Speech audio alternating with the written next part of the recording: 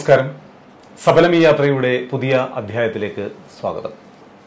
ഇന്ന് മാവേലിക്കര സ്വദേശി മിസ്റ്റർ വർഗീസിനെയാണ് സബലമി യാത്രയിലേക്ക് പരിചയപ്പെടുത്തുന്നത്. അദ്ദേഹം ഖത്തറിൽ എയർ കണ്ടീഷനിങ് ആൻഡ് ഫെസിലിറ്റി മാനേജ്മെന്റിംഗ് എന്നീ രംഗത്ത് തന്റേതായ വ്യക്തിമുദ്ര പതിപ്പിച്ചുകൊണ്ട് ഖത്തറിൽ ബിസിനസ് ചെയ്യുന്ന ഈ പ്രവാസി മലയാളിയെ സബലമി യാത്രയിലേക്ക് നിങ്ങളുടെ ഏവരുടെയും അനുവാദത്തോടെ സ്വാഗതം ചെയ്യുന്നു.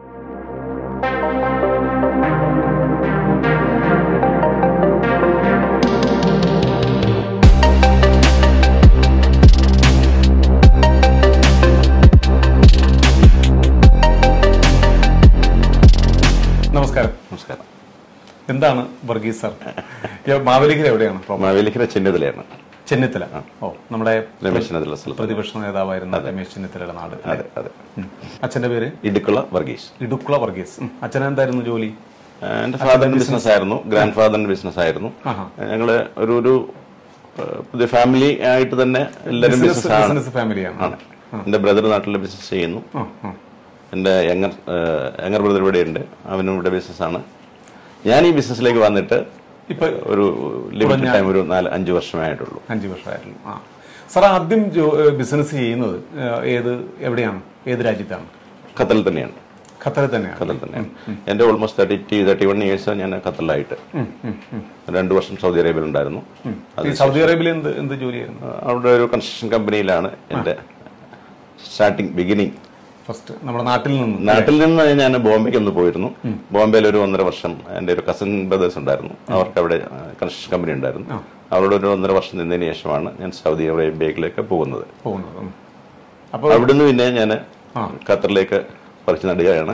പിന്നെ എങ്ങോട്ടും പോയിട്ടില്ല. സൗദിയിലെ ജീവിതം അങ്ങനെ ഉണ്ടായിരുന്നു? സൗദിയിലെ ജീവിതം നയന്റീൻ എയ്റ്റി സെവൻ ഒക്കെ എന്ന് പറഞ്ഞു കഴിഞ്ഞാൽ നമുക്കൊന്നും ചിന്തിക്കാൻ ഒക്കുന്ന ഒരു കാലയല്ലോ കാലയളവല്ലല്ലോ അത്. അവർ എഡ്യൂക്കേറ്റഡ് അല്ല. നമ്മളെ ഒക്കെ വെറും ഒരു ലേബേഴ്സ് ആയിട്ട് കണക്കൂട്ടുക എന്ന് പറഞ്ഞാൽ വണ്ടിയുടെ പുറയിലൊക്കെ ഇരുന്ന് ഞങ്ങൾ യാത്ര ചെയ്തിട്ടുണ്ട്. ഇപ്പൊ കന്നുകാലികളെ കൊണ്ടുപോകുന്ന മാതിരി നമ്മൾ വണ്ടിയുടെ പുറയിലൊക്കെ ഇരുന്ന് യാത്ര ചെയ്യേണ്ടി വന്നിട്ടുണ്ട്. അവിടെ നിന്നൊക്കെ നമ്മൾ എത്രയോ ബെറ്ററായി ബെറ്റർ ആയി. അല്ല ഇപ്പൊ എന്റെ സ്റ്റാഫിനെ പോലും ഞാൻ ഒരിക്കലും ഒരു എ സി ഇല്ലാത്ത വണ്ടി വിടാൻ ഞാൻ ആഗ്രഹിക്കാത്ത സൗദി അറേബ്യയിൽ രണ്ടു വർഷത്തെ ജോലി അല്ലേ? ജോലി തന്നെയാണ്. ജോലി തന്നെയാണ് അത് കഴിഞ്ഞതിന് ശേഷം ഈ സ്വന്തമായിട്ടൊരു ബിസിനസ് എന്ന ഒരു അത് ആക്ച്വലി ഞാനൊരു ബിസിനസ് തുടങ്ങാൻ ആഗ്രഹിച്ച ഒരാളല്ല. ഞാനിവിടെ ഒരു റെപ്യൂട്ടഡ് റിയൽ എസ്റ്റേറ്റിലെ ഫെസിലിറ്റീസിന്റെ മാനേജറായിട്ട് ഒരു ഇരുപത് വർഷത്തോളം ഉണ്ടായിരുന്നു. ഒരു എനിക്കൊരു സെറ്റിൽഡ് ആയി നാട്ടിലേക്ക് പോവാം. ഇനിയൊരു വിശ്രമ ജീവിതം എന്നുള്ള ഒരു കാലഘട്ടത്തിലേക്കൊക്കെ അടുത്തോണ്ടിരിക്കുമ്പോഴാണ് എനിക്ക് ജോലി നഷ്ടപ്പെടുന്നത്. ഓ. അപ്പം പെട്ടെന്ന് എനിക്ക് പോകാനും ഒക്കില്ല. ചില സാമ്പത്തികമായ സാഹചര്യങ്ങൾ കൊണ്ട് ചില ഇൻവെസ്റ്റ്മെന്റിൽ എനിക്ക് ഞാൻ ഇൻവോൾവ് ആയതുകൊണ്ട് എനിക്ക് പെട്ടെന്ന് പോകാനത്തില്ല എന്നാൽ പിന്നെ എന്റെ എക്സ്പീരിയൻസ് എന്തിനാ ഞാൻ നശിപ്പിക്കുന്നു? We will start our own business I will not work for anyone else എനിക്ക് അത്രയും എക്സ്പീരിയൻസ് ഉണ്ടെന്ന് കോൺഫിഡൻസ് കോൺഫിഡന്റ് ഉണ്ട് ഞാൻ സ്വയമായിട്ട്. ഏത് facilities building management system building facilities facilities എന്ന് പറയുമ്പോൾ ഇന്ന് നമ്മൾ ലേറ്റസ്റ്റ് ടെക്നോളജികളൊക്കെ യൂസ് ചെയ്തു തുടങ്ങി ഞാൻ ഈ ബിഗ് ഫൈവും അങ്ങനെയുള്ള പ്രോഗ്രാമുകളിലൊക്കെ പോകാറുണ്ട്. അപ്ഡേറ്റഡ് ചെയ്യാൻ ആഗ്രഹിക്കുന്ന ഒരാളാണ്. പിന്നെ വരും തലമുറയ്ക്ക് വേണ്ടി എന്റെ എക്സ്പീരിയൻസ് അവരിൽ അവരിലേക്ക് കൊടുക്കുക. ഈ ഫീൽഡിൽ ഒരു എക്സ്പീരിയൻസ് ഉണ്ട്. എല്ലാവരും ടേബിളിരുന്ന് വർക്ക് ചെയ്യുന്ന ആൾക്കാർ അതാണ് എല്ലാവർക്കും താല്പര്യം. അറ്റ് ദി എൻഡ് നമുക്ക് ഫീൽഡ് എന്താണെന്ന് ഇറങ്ങി ഈ ബിൽഡിംഗ് ബിൽഡിംഗ് ബിൽഡിങ്ങിന്റെ മെയിന്റെനൻസ് മെയിന്റെനൻസ് നമുക്ക് പ്രോപ്പറായിട്ട് കൊണ്ടുപോകാൻ ഒക്കുള്ളൂ നമുക്ക് എന്താണ് നമ്മളെന്ന് അറിയണമെങ്കിൽ എന്താണ് ആ ബിൽഡിംഗ് എന്ന് അറിയണം എവിടെയാണ് നമ്മൾ ആ, ജോലി ചെയ്യുന്നത്? ആ ജോലിയുടെ എന്തൊക്കെയായിരിക്കും അതിന് ഔട്ട്പുട്ട് വരുന്നത് നമുക്ക് വ്യക്തമായിട്ട് നമുക്കൊരു ധാരണ ഉണ്ടാവണം. അപ്പൊ അത് ഫീൽഡിൽ ഇറങ്ങണം. ഇറങ്ങണം. അപ്പോൾ അതിനുവേണ്ടി ഞാനിപ്പോൾ ഞാൻ എപ്പോഴും പോകും ഡെയിലി ഒരു രണ്ട് സൈറ്റ് വിസിറ്റിംഗിൽ നടത്താറുണ്ട്. ഫീൽഡിൽ പോയിട്ട് നമ്മുടെ വരുന്ന തലമുറയ്ക്ക് എന്റെ എക്സ്പീരിയൻസ് കൊടുക്കുക. മാക്സിമം എന്റെ ഏജിനെ യങ് ഏജിലേക്ക് കൊണ്ടുപോകും രാവിലെ ഒന്ന് എഴുതി എഴുന്നേക്കുക എനിക്കിന്ന് അവിടെ അപ്പോയിന്റ്മെന്റ് ഉണ്ട്. അല്ലെങ്കിൽ പിള്ളേർ വരും. അപ്പൊ അതിന് ഇറങ്ങാം. പിന്നെ ഉച്ചയ്ക്ക് ടൈമിൽ പോയിട്ട് ഭക്ഷണം കഴിക്കാം. റെസ്റ്റ് എടുത്തിട്ട് വീണ്ടും വരാം. ആ റുട്ടീൻ അങ്ങനെ പോകും റീസെന്റ് എന്റെ ഒരു എഞ്ചിനീയർ റോബിൻ ജോയിൻ ചെയ്തിട്ട് ഒരു മൂന്ന് മാസമേ ഉള്ളൂ അവൻ ആക്ച്വലി ഇവിടെ ഒരു എട്ട് വർഷം ജോലി ചെയ്തിട്ട് നാട്ടിലേക്ക് തിരിച്ചു പോയതാണ്. പിന്നെ എന്നോട് ഞാൻ വരട്ടെ എന്ന് ചോദിച്ചപ്പോൾ ഞാൻ വരാൻ- വരാൻ പറഞ്ഞു. കാരണം അവരുടെ ഈ ഔട്ട്പുട്ട് ഉണ്ട്. ഉണ്ടാവും ഉണ്ടാവും ഉണ്ടാവും അവരുടെ ഔട്ട്പുട്ട് ഒന്നും തീർന്നിട്ടില്ല. തീർന്നിട്ടില്ല. പിന്നെ? അപ്പം നമ്മളെ എന്നെ സംബന്ധിച്ചിടത്തോളം അല്ലെങ്കിൽ എന്റെ കാറ്റഗറിയിലുള്ള ആൾക്കാരെ സംബന്ധിച്ചിടത്തോളം ഞങ്ങൾ അവരെ ഒന്ന് ഗൈഡ് ചെയ്യാന്നുള്ളത് മാത്രമേ ഉള്ളൂ. ഇതിപ്പോ ഈ ഖത്തറിൽ ഇത് എവിടെയാണ് ഈ സ്ഥലം? ഓൾഡ് റിയാൻ എന്ന് പറയും.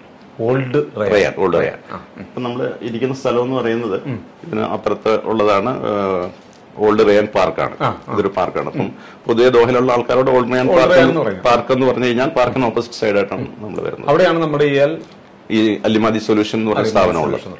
ഇവിടെ എയർ കണ്ടീഷൻസിന്റെ എയർ കണ്ടീഷനാണ് കോമൺലി ഞാൻ ഈ അല്ലിമാതി സൊല്യൂഷൻ ചെയ്യുന്നത്. പിന്നെ എന്റെ ഒരു കമ്പനി ഉള്ളത് സോഡിയാക് ഫെസിലിറ്റീസ് മാനേജ്മെന്റ് അത് റീസെന്റ് ഞാൻ സ്റ്റാർട്ട് ചെയ്തതാണ്. അതാണ് എന്റെ കോ ആക്ച്വലി എന്റെ കോർ ബിസിനസ് എന്ന് പറയുന്നത് മെയിന്റനൻസിലാണ് ഇരുപത് വർഷം ഞാൻ മെയിന്റനൻസിൽ തന്നെയായിരുന്നു. ഈ ഫെസിലിറ്റീസ് മാനേജ്മെന്റിലെ ഏറ്റവും ചങ്കായിട്ടുള്ള ഭാഗം എന്ന് പറയുന്നത് എയർ കണ്ടീഷനാണ് എയർ കണ്ടീഷൻ ഇവിടെ ഈ ഗൾഫിലെ സംബന്ധിച്ചിടത്തോളം നമുക്ക് എയർ കണ്ടീഷൻ ഇല്ലാതെ ഒന്നും നടക്കില്ല. ഇപ്പൊ നമ്മൾ വിന്റർ സീസണിൽ ഡിസംബറിൽ ഇരുന്നിട്ട് എ സി ഡി ഡാമിൽ ഇവിടെ ഇരിക്കുന്നത്. അല്ലേ? അപ്പം അപ്പൊ അതുകൊണ്ട് എ സിയുടെ ഒരു ഡിവിഷൻ തന്നെ ഞാൻ ആദ്യമേ ആരംഭിച്ചു. അതിനോട് ചേർന്ന് പിന്നെ എന്റെ എക്സ്പേർട്ട് എക്സ്പെർട്ടിസത്തിലേക്ക് ഞാൻ ഒരു പുതിയ സ്ഥാപനം തുടങ്ങി. അതാണ് സോഡിയക് ഫെസിലിറ്റീസ് മാനേജ്മെന്റ് അതിനൊരു വലിയ ഫ്യൂച്ചർ ആണുള്ളത്. ദുബൈയിലൊക്കെ ഫെസിലിറ്റീസ് മാനേജ്മെന്റ് കമ്പനികളുടെ അണ്ടറിൽ തന്നെയാണ്. ഓൾമോസ്റ്റ് എല്ലാ ബിൽഡിങ്ങുകളും ഗവൺമെന്റ് സ്ഥാപനങ്ങളായാലും ഹൈറൈസ് ടവറുകളായാലും ഇവിടെയും ഇവിടെ ഒരു ആ ഒരു കോൺസെപ്റ്റിലേക്ക് വരുന്നുണ്ട്. ഞാൻ അല്ല ഫെസിലിറ്റീസിൽ ഇരിക്കുമ്പം ഏകദേശം ഒരു വർഷം മുമ്പ് തന്നെ ഞങ്ങൾക്ക് ആ എന്റെ സ്പോൺസർക്ക് ആ വിഷൻ ഉണ്ടായിരുന്നു. ആ വിഷനിൽ ഞാനും വളർന്നു എന്റെ സ്പോൺസറും വളർന്നു. അതിനുശേഷം ഞാനിപ്പോ എന്റേതായ ഒരു പ്രസ്ഥാനം നടത്തുക തുടങ്ങി. കോമ്പറ്റീഷൻ കോമ്പറ്റീഷൻ ഉണ്ട്. എല്ലാ ഫീൽഡും കോമ്പറ്റീഷൻ ഉണ്ട്. എവറി എവരി എന്ത് ബിസിനസ് ആയാലും. എൻഡ് യൂസർ ഹാപ്പി അല്ല എന്നുണ്ടെങ്കിൽ നമ്മൾ എത്ര കഴിവുള്ള ആളാണെന്ന് പറഞ്ഞിട്ട് കാര്യമില്ല. നമ്മളൊരു കോഫി എടുത്ത് ഒരു കോഫി ഉണ്ടാക്കി തരുന്ന നല്ലൊരു കോഫി നമ്മുടെ ടേസ്റ്റിനനുസരിച്ചിട്ട് അത് ഷുഗർ ഉപയോഗിക്കാത്ത ആൾക്കാരാണെങ്കിൽ ഷുഗർ ഇല്ല ഇല്ലാതെയും ഷുഗർ മീഡിയം ഉള്ളവനാണെങ്കിൽ മീഡിയം അത് ആളിനെ അറിഞ്ഞിട്ട് അവൻ ആ ടീ എടുത്ത് കൊടുക്കുമ്പോഴാണ് നമ്മൾ സാറ്റിസ്ഫൈഡ് ആയിട്ട് നമ്മളൊരു ഒരു റിയാലോ അല്ല അഞ്ച് റിയാലോ അവന് എടുത്തു കൊടുക്കുന്നത്. അത് ഏത് ഏത് തൊഴിലായാലും അങ്ങനെ ചെയ്യുന്ന ഒരു പ്രസ്ഥാനവും ഈ വേൾഡ് ലോകത്തെ എവിടെയായാലും പിന്നിലേക്ക് പോവില്ല. നല്ല നല്ല നല്ലൊരു എക്സാമ്പിൾ അതെ നമ്മുടെ എൻഡ് യൂസർ തന്നെയാണ്. എക്സാമ്പിൾ നമ്മുടെ എൻഡ് യൂസർ തന്നെയാണ് നമ്മളെ അളക്കുന്ന അളവുകൾ എന്ന് പറയുന്നത്. എത്ര സ്റ്റാഫ് ഉണ്ട് സാറിന് ഇവിടെ? എനിക്കിപ്പം ഈ എയർ കണ്ടീഷൻ ഡിവിഷനിൽ പതിനഞ്ച് സ്റ്റാഫ് അതിൽ ഒരു എഞ്ചിനീയർ ഉണ്ട് ഒരു സെയിൽസ് സ്റ്റാഫ് ഉണ്ട് അക്കൗണ്ട്സ് ഒരു സ്റ്റാഫ് ഉണ്ട് ബാക്കി ഓപ്പറേഷൻ ടീമിൽ ഒരു പതിനഞ്ച് പേര്. സർക്കാർ എങ്ങനെയാണ് സാർ? ഈ ഖത്തർ സർക്കാർ ബിസിനസ് സപ്പോർട്ടീവ് ആണ്. ഇറ്റ്സ് നമ്മുടെ ഈ കൊറോണ കാലം കഴിഞ്ഞിട്ടാണ് നമ്മൾ മുന്നേക്ക് ഈ വന്ന് നിൽക്കുന്നത്. അടുത്തൊരു കൊറോണ വരുന്നു എന്ന് പറയുന്നെങ്കിൽ തന്നെയും ഇപ്പം ഇവിടെ നിലനിൽക്കുന്നത് ഖത്തർ ഗവൺമെന്റ് സപ്പോർട്ടോടുകൂടി തന്നെയാണ്. കാരണം കൊറോണയുടെ ഒരു ബിഗിനിങ്ങിലൊക്കെ അവരൊരു ഒരു- ഒരു ബാങ്കിന്റെ ഒരു പാക്കേജ് ഉണ്ടായിരുന്നു. സപ്പോർട്ട് ഒരു ഒരു സാലറി പ്ലസ് റെന്റ് കൊടുക്കുന്ന ഒരു പ്രോഗ്രാം ഉണ്ടായിരുന്നു ഖത്തർ ഖത്തർ ഗവൺമെന്റ് അപ്പൊ അതിൽ ഞാനും എനിക്കും അതിന്റെ പ്രതിഫലം ബെനിഫിറ്റ് കിട്ടിയ ബെനിഫിറ്റ് കിട്ടി കിട്ടിയ ആളാണ്. ആ ഒരു സ്ട്രഗ്ലിംഗ് ടൈമിൽ അതൊരു വലിയ സേവിങ് വലിയൊരു ഈ കമ്പനി ഇല്ലാതെ ആയി പോവാതെ മുന്നോട്ട് പോകാൻ കാരണം ഒരു സപ്പോർട്ടായിരുന്നു. സപ്പോർട്ടായിരുന്നു. അങ്ങനെ പല കമ്പനികളും. പക്ഷെ അവർ മെയിൻലി അവർ ചെയ്തെന്ന് പറഞ്ഞാൽ സപ്പോർട്ട് ചെയ്തെന്ന് പറഞ്ഞു കഴിഞ്ഞാൽ whoever is capable for that ആരാണ് കറക്റ്റായിട്ട് സാലറി കൊടുക്കുന്നത് അല്ലെങ്കിൽ ബാങ്കിൽ പ്രശ്നങ്ങളില്ലാത്ത ആൾക്കാർക്ക് മാത്രമേ അവർ ചെയ്തുള്ളൂ. അല്ലാതെ ചുമ്മാ എല്ലാവർക്കും വാരിക്കോരി വാരി കൊടുത്തില്ല. അപ്പൊ അത് ആവശ്യമില്ലാതെ കിട്ടി. ബട്ട് അവർ മെയിന്റെയിൻ കമ്പനി മെയിന്റെയിൻ ചെയ്തുകൊണ്ട് അവർക്കും കിട്ടി എന്നുള്ളതാണ്. പക്ഷെ നമ്മളത് മെയിന്റെയിൻ ചെയ്തുകൊണ്ട് നമുക്കും അതിന്റെ ബെനിഫിറ്റ് നമുക്ക് കിട്ടി. നല്ല കാലം വരും ചീത്തക്കാലം വരും. ആ സമയങ്ങളിൽ മനസ്സ് ഇന്നലെ ഇല്ല ഇന്നലെ കുറിച്ച് ഞാൻ വറീഡല്ല ഒരിക്കലും. ഒരിക്കലും. രാവിലെ എഴുന്നേറ്റാൽ ആദ്യം ചിന്തിക്കുന്നത് what is your today your programme എന്താണ് ഇന്നത്തെ നിങ്ങളുടെ പ്രോഗ്രാം അതാണ് ഇപ്പോഴും ചെറുപ്പക്കാരൊപ്പം ചാടിച്ചാടി നിൽക്കും അതെ. അതൊരു മനസ്സ്. അതെ അതെ സന്തോഷം.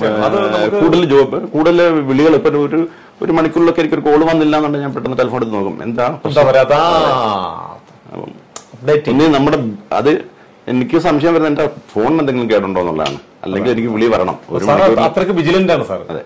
കുടുംബമൊക്കെ പറഞ്ഞു പഠിച്ചത്? പഠിച്ചത് ഞാൻ ചെന്നിത്തല മഹാത്മ ബോയ്സ് ഹൈസ്കൂൾ എന്ന് പറഞ്ഞ സ്കൂളിലാണ് സ്കൂളിലാണ് അതിനുശേഷമുള്ള വിദ്യാഭ്യാസം? വിദ്യാഭ്യാസം പിന്നെ പി ഡി സിക്ക് നമ്മുടെ പമ്പ കോളേജ് മാന്ന- മാന്നാറ്.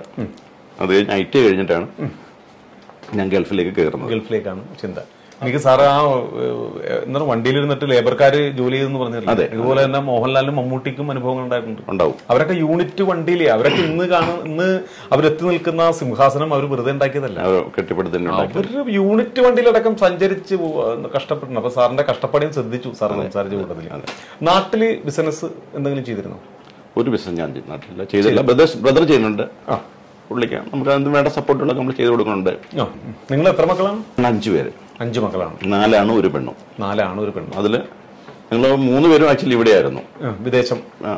ഖത്തറിലായിരുന്നു. ഖത്തറിലാണ്. നേരെ എന്റെ നേരെ മൂത്തൊരാളുണ്ട് പുള്ളി നേവിയിലായിരുന്നു. അത് കഴിഞ്ഞിട്ട് പുള്ളി സൗദിയിലുണ്ടായിരുന്നു ഇവിടെ ഉണ്ടായിരുന്നു. പുള്ളിയും ഇപ്പം സെറ്റിലായി നാട്ടിലായി. സഹോദരി സഹോദരി അളിയൻ യു എയിലായിരുന്നു. പുള്ളിയും ഇതുകൊണ്ട് സെറ്റിലായി നാട്ടിൽ സെറ്റിലായി. സാറിന്റെ കുടുംബം?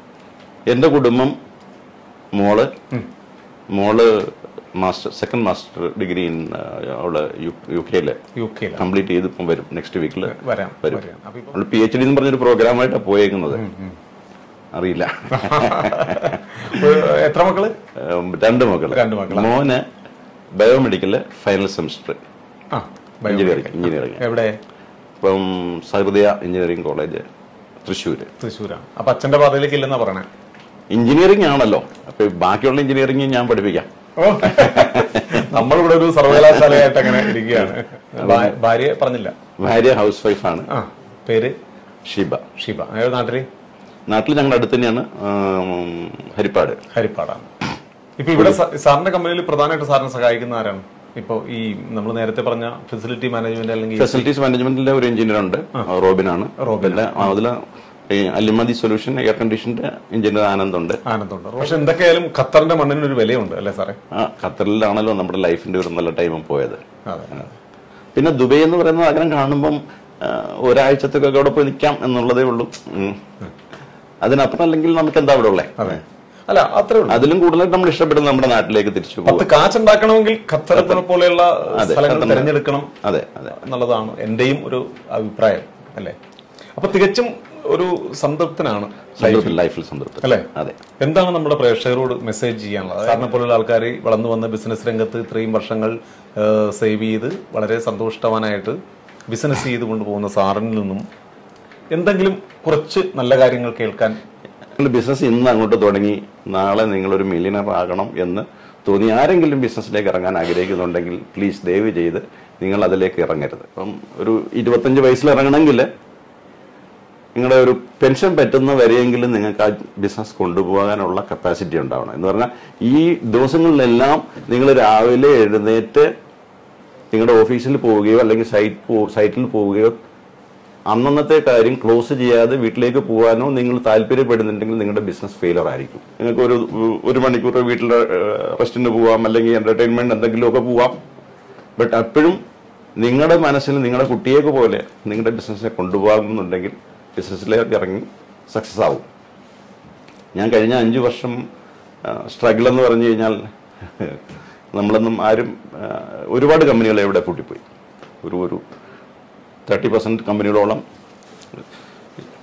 പൂട്ടിപ്പോയിട്ടുണ്ട്. അതിന് മെയിൻ കാരണം എന്ന് പറഞ്ഞു കഴിഞ്ഞാൽ ഞങ്ങൾ ഈ രണ്ടായിരത്തി പതിനേഴിലാണ് ഇവിടെ ബ്ലോക്കേഡ് തുടങ്ങുന്നത്. ആ സമയത്ത് എനിക്ക് അമ്പതിനായിരം രൂപ റെന്റുള്ള ഒരു ഷോറൂമാണ് ഞാൻ എടുത്തിരുന്നത്. ഓ. Monthly fifty thousand real rent ഞാൻ ഏപ്രിലിൽ ആ ഷോറൂം എടുക്കുന്നു. ജൂണിൽ ബ്ലോക്കേഡ് സ്റ്റാർട്ടാവുന്നു. പിന്നെ ഒരു വർഷം എനിക്ക് ഒരു റിയാലിറ്റി ബിസിനസ് അവിടെ ഞാൻ ചെയ്തിട്ടില്ല. ഞാൻ രണ്ട് വർഷത്തെ കോൺട്രാക്ട് എഴുതിയിട്ടാണ് ഷോപ്പ് ഷോപ്പ് എടുത്തേക്കുന്നത്. അപ്പൊ ആ രണ്ടു വർഷത്തെ സ്ട്രഗിൾ കഴിഞ്ഞ് ഞങ്ങൾ ഇറങ്ങി ഒന്ന് ഒന്ന് പിക്കപ്പ് ആയിട്ടൊക്കെ വന്നപ്പോഴത്തേക്ക് കൊറോണയായി. അപ്പോൾ ഇതെല്ലാം നമുക്ക് ബിസിനസ്സിൽ വരാൻ നമുക്ക് ഒന്നും പ്രഡിക്റ്റ് ചെയ്യാനൊക്കത്തില്ല. ബിസിനസ് എപ്പോഴും നമ്മൾ ഗെയിൻ ചെയ്യുന്നതല്ല. നമ്മൾ കുഞ്ഞുങ്ങളെ എങ്ങനെ വളർത്തി കൊണ്ടുവരുന്നു അതുമാതിരി നമുക്ക് കൊണ്ടുവരാമെന്നുണ്ടെങ്കിൽ ഇറ്റ് വിൽ ബി സക്സസ് ഇതാണ് എനിക്കിപ്പം തലമുറയോട് പറയാനുള്ളത്. വളരെ അല്ലേ ഒരു അധ്യാപകൻ ക്ലാസ് എടുക്കുന്ന ലാഘവത്തോടെയാണ് സാറ് പറഞ്ഞത്. അനുഭവങ്ങളാണ് അല്ലേ സാറിന്റെ അനുഭവങ്ങൾ ഭയങ്കര സംഭവം തന്നെയാണ്. അത് നമുക്ക് അത് എങ്ങനെ അതിനെ സത്യം ദിനചര്യകൾ എന്തൊക്കെയാണ്? രാവിലെ എഴുന്നേൽക്കുന്നു. എഴുന്നേറ്റാൽ ഫസ്റ്റ് ഇന്നത്തെ പരിപാടികൾ എന്താണ്. അത് കഴിഞ്ഞ് കഴിഞ്ഞാൽ കുളി കഴിയുക ഭക്ഷണം കഴിക്കുക ബ്രേക്ക്ഫാസ്റ്റ് വീട്ടിൽ നേരെ ഓഫീസിലേക്ക് അല്ലെങ്കിൽ സൈഡിലേക്ക് അത് കഴിഞ്ഞ് കഴിഞ്ഞാൽ ഉച്ചയ്ക്ക് ഒരു വൺ തേർട്ടി അല്ലെങ്കിൽ two lunch break four o'clock come back to office അന്നത്തെ work table കാലിയായാൽ six thirty seven eight nine അതിന് ടൈമിംഗ് ഇല്ല. അന്നത്തെ വർക്ക് തീർത്തതിന് ശേഷമേ പോകാറുള്ളൂ മീറ്റിംഗ് ഉണ്ടെങ്കിൽ മീറ്റിംഗ് ചെയ്ത് കഴിയും നാളത്തേക്ക് എന്തെങ്കിലും പ്രോഗ്രാം സാധനങ്ങൾ അറേഞ്ച് ചെയ്യാനുണ്ടെങ്കിൽ അതെല്ലാം അറേഞ്ച് ചെയ്യും. അതിനുശേഷം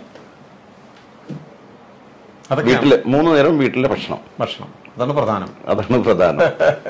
എക്സസൈസ് ചെയ്യാൻ ടൈം കിട്ടാറുണ്ട് പോകാറുണ്ട്. നടക്കണം അല്ലേ? വൈഫായിട്ട്.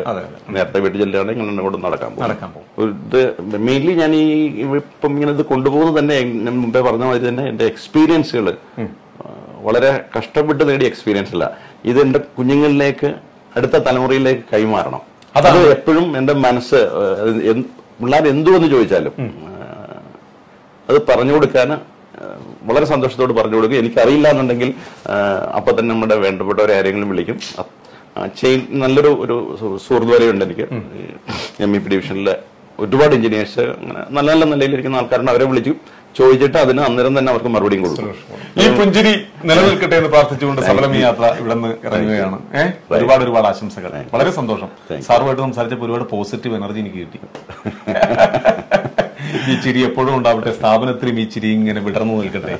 ഫെസിലിറ്റി മാനേജ്മെന്റ്സും അതുപോലെ എയർ കണ്ടീഷൻസിന്റെ വർക്കും എല്ലാം വളരെ നന്നായി മുന്നോട്ട് കൊണ്ടുപോകട്ടെ. ഈ പുതിയ ടെക്നോളജിയൊക്കെ യൂസ് ചെയ്തുകൊണ്ട് സാറിന് ഇനിയും മുന്നോട്ട് കുതിക്കാൻ കഴിയട്ടെ എന്ന് പ്രാർത്ഥിച്ചുകൊണ്ട്.